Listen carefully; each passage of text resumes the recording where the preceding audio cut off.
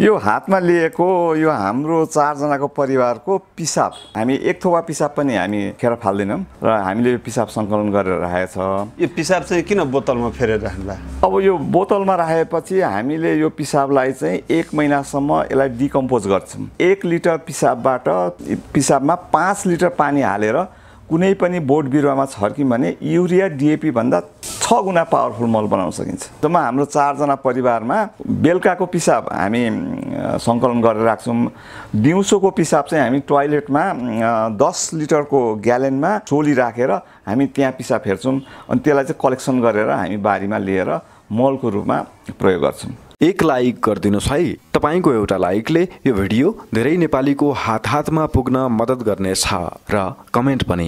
दर्शकवृन्द नमस्कार अनि हार्दिक स्वागत छ तपाईँहरू सबैजनालाई नेपाल चित्र डट कममा। म किरण पौडेल। दर्शकवृन्द तपाईँ हाम्रो घरमा छरछिमेकमा समाजमा आफ्नो पिसाब चाहिँ खेर गइराखेको हुन्छ। तर त्यही पिसाबलाई सङ्कलन गरेर डिकम्पोज गरेर एक लिटर पिसाब छ लिटर पानीमा मिसाएर अनि आफ्नो तरकारी बाली अरू खेत बालीमा छर्दाखेरि त्यसले मलको काम गर्दो रहेछ। आज हामीले चाहिँ त्यस्तै एकजना किसानलाई तपाईँहरूमा आज प्रस्तुत गर्ने तयारी गरिराखेका छौँ जसले चाहिँ आफ्नो परिवारको पिसाब सङ्कलन गर्नुहुन्छ त्यो पिसाबलाई एक महिनासम्म डिकम्पोज गर्नुहुन्छ र त्यो डिकम्पोज भएको पिसाबलाई छ लिटर पानीमा घोलेर आफ्नो खेतबारीमा जे लगाउनु भएछ त्यसमा छर्काउनुहुन्छ उहाँले डाई युरिया लगायतका अरू रासायनिक मल चाहिँ विगत लामो समयदेखि प्रयोग गर्नुभएको छैन। यस्तै किसिमका कम्पोस्ट मलहरू अनि आफ्नै पिसाबबाट बनेका मलहरू नै प्रयोग गरेर राम्रोसँग खेतीपाती गर्दै आउनुभएको छ। अझ भन्नुपर्दा उहाँले तितेपाती खेती व्यावसायिक रूपमा गरिराख्नु भएको छ। आफ्नो पिसाबलाई कसरी सङ्कलन गर्ने अनि त्यसलाई डिकम्पोज कसरी गर्ने र त्यो पानीमा घोलेर छर्किने प्रक्रिया के छ कति छर्किने कति मात्रामा छर्किँदाखेरि चाहिँ बिरुवालाई राम्रो हुने हो र धेरै छर्किँदाखेरि त्यस्तो हानि हुन्छ हुँदैन भन्ने बारेमा चाहिँ आज हामी उहाँसँग कुराकानी गर्नेछौँ। आउनुहोस् उहाँलाई स्वागत गरौँ। मिनेशजी हजुरलाई धेरै धेरै स्वागत छ नेपाल चित्र डट कममा। ल मेरो पनि नमस्कार छ। तपाईँले हातमा लिनुभएको के हो त्यो ठ्याक्क ननाटिकन भन्नु त। यो हातमा लिएको यो हाम्रो चारजनाको परिवारको पिसाब। खै देखाइदिनु त पिसाब चाहिँ हामीले यो हामी एक थोपा पिसाब पनि हामी अँ, खेर फाल्दैनौँ र हामीले यो पिसाब सङ्कलन गरेर राखेको छ। यो पिसाब चाहिँ किन बोतलमा फेरेर राख्नुभयो अब यो बोतलमा राखेपछि हामीले यो पिसाबलाई चाहिँ एक महिनासम्म यसलाई डिकम्पोज गर्छौँ। एक महिनासम्म यसलाई यो पिसाबलाई स्टोर गरेर डिकम्पोज गरेर राख्छौँ। त्यसपछि हामीले यो डिकम्पोज गरिसकेपछि एक लिटर पिसाबबाट पिसाबमा पाँच लिटर पानी हालेर कुनै पनि बोट बिरुवामा छर्क्यौँ भने युरिया डिएपी भन्दा छ गुणा पावरफुल मल बनाउन सकिन्छ। यो पछाडि मस्त बोतल भरेर राख्नु भएको छ। हजुर। मैले त अघि आउने बित्तिकै दाइले पेट्रोल राख्नुभयो होला भन्ने सोचेको थिएँ। यो सबै पिसाब हो? सबै पिसाब। यो पिसाब सङ्कलन गरेर अहिले हाम्रो यो तितेपाती खेतीमा यो पिसाब लगाएर हामीले राम्रो मलको काम गर्छ गरिरहेको छ। तपाईँहरूको घरमा कतिजना हुनुहुन्छ परिवार? जम्मा हाम्रो चारजना परिवारमा बेलुकाको पिसाब हामी सङ्कलन गरेर राख्छौँ। दिउँसोको पिसाब चाहिँ हामी टोयलेटमा अ, दस लिटरको ग्यालेनमा ठुलो एउटा सोली राखेर हामी त्यहाँ पिसाब फेर्छौँ। अनि त्यसलाई चाहिँ कलेक्सन गरेर हामी बारीमा लिएर मलको रूपमा प्रयोग गर्छौँ। अहिले हाम्रो टोयलेटमा गयो भने त्यहाँ अ, टोयलेटको पिसाब होइन कि जर्किनमा हामी पिसाब हेर्छौँ यो त अनौठो कुरो भन्नु हो दाइ होइन यो हाम्रो खेर गइरहेको पिसाब चाहिँ यो मल हुने भएकोले किन चाहिँ अब यो खेर गइरहेको पिसाबलाई सदुपयोग नगर्ने भनेर हामीले सुरु गरेको छ। र कुनै पनि कृषकहरूलाई चाहिँ यो पिसाबबाट राम्रो अर्ग्यानिक मल बन्ने भन्ने कुरा सबैलाई म जानकारी पनि गराउँछु। र अरू यो मलको बारेमा अब जस्तो नि यो पिसाबकै। बारेमा गफ गर्दाखेरि नि दाइ हजुर।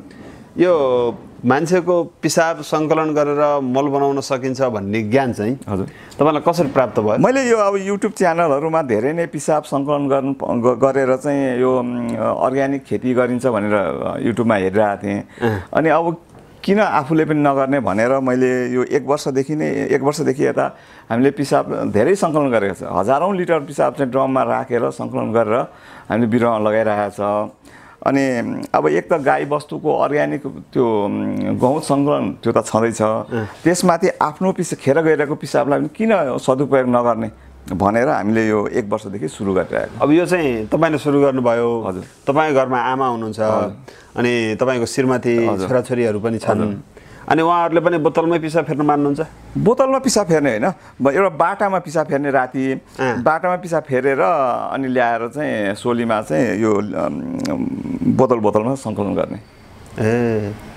अब राति टोइलेट आउनु पनि समस्या एउटा बाटामा राख्यो भने त ठ्याक्क कुनामा राखेर। पिसाब सङ्कलन गरेर मलको रूपमा प्रयोग। हामीले युरिया डिए डिएपी मललाई पुरै बहिष्कार गरेर हामी पुरै अर्ग्यानिक तरिकाले चाहिँ काम गर्ने भनेर यो अभियानमा लागेको यसले अनि मलको काम राम्रो गर्दो रहेछ युरिया डिएपी किन्नै पर्दैन युरिया डिएपी चाहिँदै चाहिँदैन हामीले यो मलमा पुरै आत्मनिर्भर भएर हामीले काम गरिरहेको छ अहिले अब यो जुन यो घ्याम्पो छ नि देखिन्छ त्यहाँ? घ्याम्पो। यो घ्याम्पो। यो घ्याम्पोमा हामीले किचनबाट निस्केको सम्पूर्ण वेस्टेज फोहोरहरू यहाँ राखेर हामीले एउटा एक लिटर वेस्ट डिकम्पोजर भन्ने एक लिटर ल्याउने त्यसमा एक किलो सक्खर या चिनी आफूलाई जे सुविधा हुन्छ त्यो राखेर घोलेर एक सय लिटर पानीमा घोलेर या तहगत रूपमा चाहिँ हामीले त्यो इ वेस्ट डिकम्पोजर इएम जिपातु विभिन्न नामको कम्पनीको नामको त्यो पाइन्छ। त्यसलाई चाहिँ हामीले छर छरेर यसलाई डिकम्पोज गरेर हामीले माथि कम्पोस्ट मल बनाउन सकिन्छ। तल अर्ग्यानिक लिक्विड फर्टिलाइजर बनाउन सकिन्छ। त्यहाँ हामी हेरौँ एकदम। त्यो टुटी पनि छ? टुटी पनि छ। त्यो टुटीबाट के निस्किन्छ? त्यहाँबाट मल निस्किन्छ। खै देखाउनु त। ल। अब हामीले यो यो निस्किएको यो यो जुन यो हो यो यसलाई लिक्विड फर्टिलाइजर। ए। यो। अब यो बिरुवामा राख्यौँ भने यस एक नम्बरको मल यसबाट तयार हुन्छ यो। यता जुन पानी आइरहेको छ त्यो पनि मलै हो। एक नम्बरको यो लिक्विड फर्टिलाइजर झोल मल। अब हामीले यसरी चाहिँ राख्यो भने यो यसलाई चाहिँ डिकम्पोज गर्नलाई पानी त अलिअलि चाहिन्छ। अघि भने जस्तै त्यो वेस्ट डिकम्पोजर र यो राखेर छिटोभन्दा छिटो कुहाएर हामीले मल तयार गर्न सकिन्छ। ल ठिक छ दाइ फेरि बस्नु कुर्छ हजुर। अनि यो पिसाब जुन मान्छेको छ नि हजुर। यसलाई चाहिँ मल बनाउनको लागि तपाईँले अघि एक लिटर पिसाबलाई दस लिटर पानीमा मिसा छ लिटर पानीमा मिसाएर छर्ने भन्नुभयो है। तपाईँले चाहिँ तितेपातीमा प्रयोग गरिराख्नु भएको छ यो तितेपाती राम्रै भएको छ भन्नुभयो। हजुर। अनि अरू चाहिँ कस्ता कस्ता तरकारी बारीहरूमा यो मल प्रयोग गर्न सकिँदो रहेछ पिसाबको मान्छे हामीले यो सागसब्जी लहरे बारीहरू भयो होइन काउली भयो बन्दाकोपी भयो जुनसुकै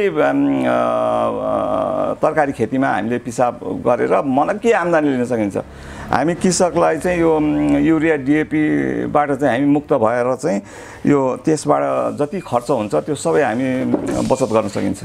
हो? हो। अनि यो सिधै गएर पिसाब फेरिदिँदा चाहिँ हुन्छ हुँदैन। त्यो सिधै गएर पिसाब फेरेर हुँदैन किनभनेदेखि त्यस यसमा धेरै नै यो युरियाको मात्रा धेरै नै हुन्छ। पिसाबमा? यसलाई एक महिना डिकम्पोज गर्नै पर्छ। एक महिना डिकम्पोज गरेर छ लिटर पानी मिसाउनै पर्छ। यो डिकम्पोज चाहिँ कसरी गर्ने यसलाई राखेको एक महिनापछि यो आफसे आफ डिकम्पोज हुन्छ। हो। के त जम्छ कि? जम्दैन जम्दैन। यो यो यो चाहिँ एक महिनापछि स्टोर गरेपछि आफै डिकम्पोज हुन्छ। त्यसलाई डिकम्पोज भएको मान्नु पर्यो। मान्नु पर्यो। अनि त्यसपछि त्यसलाई मलको रूपमा प्रयोग गर्न मलको रूपमा प्रयोग गर्न अनि विभिन्न किरा फट्याङ्ग्राहरू पनि लाग्छन्। हजुर। त्यो कीटनाशक औषधिको रूपमा पनि यसको प्रयोग गर्न सकिन्छ? तपाईँहरूले गर्नुभएको छ त्यस्तो? यसलाई कीटनाशक रूपमा चाहिँ प्रयोग गर्न सक सक कीटनाशकको चाहिँ यसले काम गर्दैन? कीटनाशकको लागि चाहिँ अर्ग्यानिक कीटनाशक बनाउन हामीले छुट्टै प्रविधि छ त्यो। त्यसको लागि चाहिँ हामीले चार पाँचवटा चिज हामीले उ गर्नुपर्छ। जस्तै तितेपाती गाईको गहुँत सुर्ती यो धतुरोको पात धतुरो अनि निमको पत्ता अनि खोर्सानी लसुन बनमारा यिनीहरू सबै भेला पारेर हामीले कुटेर हामीले यो गहुँतमा पकाएर त्यसपछि झोल निकालेर हामीले पानी थोरै एक लिटरमा दुई तिन लिटर पानी मिसाएर स्प्रे गर्यो भने ज जस्तो किरा पनि निर्मूल गर्न सकिन्छ। मार्न सकिन्छ। मार्न सक यो विषादीबाट चाहिँ यो विषादीबाट जति पनि लाग्ने यो समस्या हुन्छ यसबाट हामीले अर्ग्यानिक रूपमा प्रयोग गर्न सकिन्छ। तपाईँको चाहिँ परिवारबाट हजुर। एक दिनमा कति लिटर पिसाब सङ्कलन हुन्छ? हामीले दस लिटर पिसाब त हामीले बिहानदेखि चौबिस घन्टामा दस पन्ध्र लिटरै हामीले मजाले चाहिँ सङ्कलन गरिरहेको छ। है? अनि त्यसपछि त मल किन चाहियो? मल किन चाहियो। यो अहिले अब हाम्रो कृषि प्रधान देश भन्छ अब यो मलको हाहाकार भइरहेको हुन्छ। अब हामीले चाहिँ यो आफ्नै खेर गइरहेको चिजबाट चाहिँ किन नगर्ने भनेर चाहिँ मैले यो अभियानको रूपमा यो पिसाब सङ्कलन अनि त्यसपछि यो ब्रह्मी कम्पोस्ट अर्को एउटा गणेउली मल भन्ने हुन्छ। त्यो गाई बस्तुको गोबर र यो पात पतिङ्गहरू कुहाएर गणेउली छोडिदिएर भ्रमी कम्पोस्ट बनाउन सकिन्छ। त्यो पनि एकदम राम्रो मलको रूपमा अहिले कृषकहरूलाई कृषकको धेरै ठुलो डिमान्ड छ। अब यो भ्रमी कम्पोस्ट पनि कृषकहरूलाई यो थोरै गणौली ल्याएर आफूले एउटा च्याम्बर बनाएर यो मलको रूपमा खाल्डो के अरे यो गाईबस्तुको खा मल राख्ने खा खाउलीमा राखेर हामीले राम्रो अर्ग्यानिक कम्पोस्ट मल बनाउन सकिन्छ। त्यसरी पनि सकिन्छ त्यसरी पनि सकिन्छ। अब पिसाबको बारेमा त कुरा गरियो। त्यो घैँटोमा जुन मल छ त्यसको बारेमा पनि अघि तपाईँले भन्दै हुनुहुन्थ्यो। त्यसमा म अझ अलि बढी प्रष्ट हुन चाहेँ। जस्तै त्यो घैँटोमा चाहिँ के के छ भन्नुभयो तपाईँले? घरबाट निस्किएको सम्पूर्ण किचनबाट घरबाट निस्किएको प्लास्टिक बाहेक प्लास्टिक बाहेक कुहुने सम्पूर्ण सामान यसमा हामी राख्न सकिन्छ। त्यहाँ पहिला त्यो आफ्नो घरेलु फोहोरहरू त्यसमा राखियो। कुहिने फोहोरहरू त्यहाँ राख्ने। त्यसमा त्यसपछि तहगत रूपमा हामीले वेस्ट डिकम्पोजर छर्किनु पर्यो। त्यो भनेको चाहिँ के केमिकल? वेस्ट डिकम्पोजर भनेको यो यो नेपाली बजारमा अहिले इएम जैविक जिपातु भनेर चाहिँ हामीले एक लिटरको एक सय बिस पच्चिस पचाससम्ममा हामीले यो किन्न पाइन्छ। त्यसलाई चाहिँ एक लिटरमा एक किलो सक्खर एक सय लिटर पानीमा मिसाएर चाहिँ घोल बनाएर हामीले यो अर्ग्यानिक मल बनाउन सकिन्छ। सखर पनि हाल्नु पर्यो? सक्खर हाल्नु पर्यो। त्यो चाहिँ तपाईँको घैँटोमा चाहिँ घरबाट निस्केको कुहिने फोहोरहरू छ। हजुर। अनि सखर मिसाएको पानी पनि त्यहीँ हालिदिने? सक्खर मिसाएको पानी हप्तामा एक दुई पटक हाल्नुपर्छ। त्यो हालेपछि छिटो छिटो डिकम्पोज हुन्छ। अनि त्यो पानी जुन टुटीबाट तल निस्किन्छ नि। त्यो चाहिँ त्यो अब जस्तै पानी हामीले त्यो राख्यौँ नि त्यो राखेर त्यो त्यो कुहेर चाहिँ त्यो त्यसमा थोपा थोपा पानी त्यहाँ तल झरिरहेको हुन्छ। सानो त्यहाँ होल बनाएको छ होइन। होल। बनाएर चाहिँ त्यहाँ झर्छ। त्यो झरेपछि त्यो मल त्यो लिक्विड पनि त्यो लिक्विड फर्टी मल बना मल चाहिँ हामीले पानीमा मिसाएर बिरुवामा प्रयोग गर्न सकियो। अनि माथिको त्यो ठोस ठोस त त्यो मल भइहाल्यो नि। त्यो त आफै मल त्यो त। मल भएर पछि सुकाएपछि त त्यो बुरबुर चिया रङ जस्तो हुन्छ।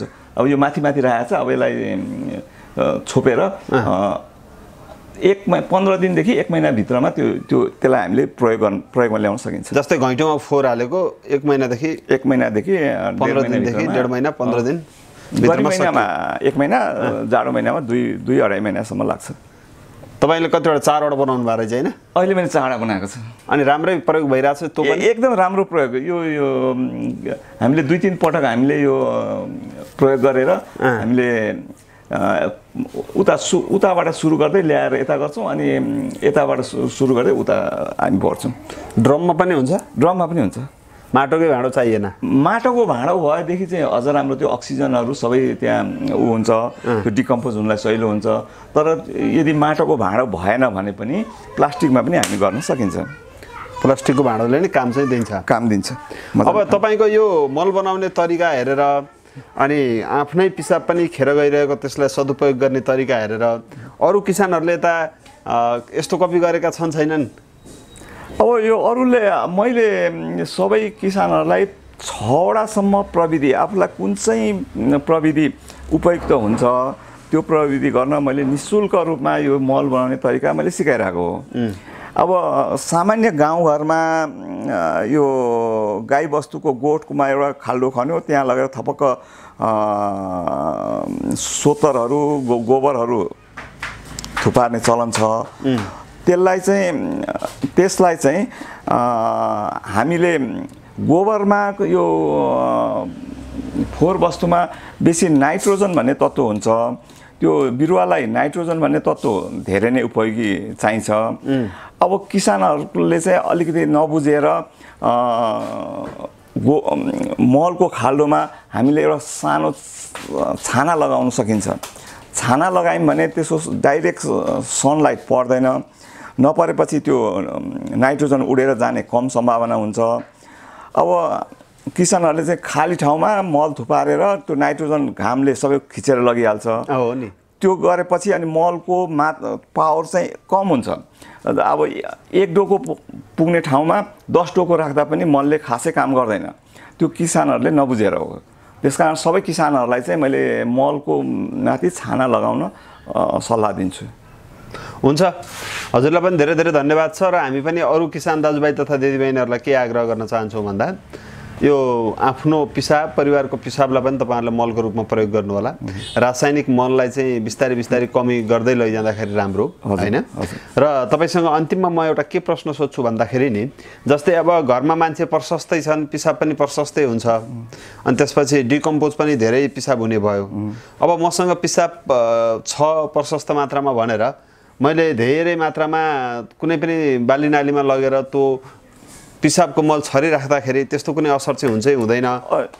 असर हुँदैन। जति छर्दा पनि हुन्छ। जति छर्दा पनि हामीले यो पिसाबबाट असर कुनै हालत असर पर्दैन। यति हो कि बि- बिरुवालाई पुरा नबिग्रोस् भन्नको लागि हामीले डाइरेक्ट यो पिसाबे लगेर छर्किने कुरा भएन। त्यसलाई छ लिटर पानी चाहिँ हामीले घोल्नुपर्छ।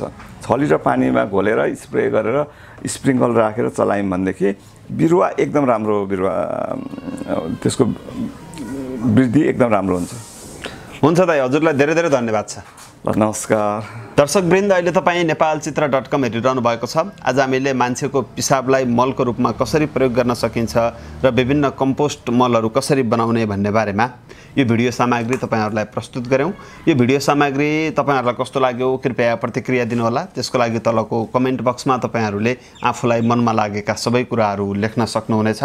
अरू यस्तै यस्तै सामग्री हेर्न नेपाल चित्र डट कमको युट्युब च्यानललाई सब्सक्राइब पनि गरिदिनु होला आज भने सङ्खुवा सभा जिल्लाको खाँदबारीबाट क्यामेरामा सुरेश गौतम सँगसँगै किरण पौडेल पनि बिदा हुन्छु। हस् नमस्कार। दर्शकवृन्द अहिले तपाईँ नेपाल चित्र डट कम हेरिरहनु भएको छ। यो भिडियो हेरेपछि मनमा केही लागेको भए तल कमेन्ट गर्नुका साथै सेयर लाइक पनि गर्न सक्नुहुनेछ। साथै हाम्रो च्यानल सब्सक्राइब गरी घन्टीको बटन थिच्न नभुल्नुहोला। अर्को सामग्रीको साथमा फेरि पनि तपाईँहरूमा आउने नै छौँ।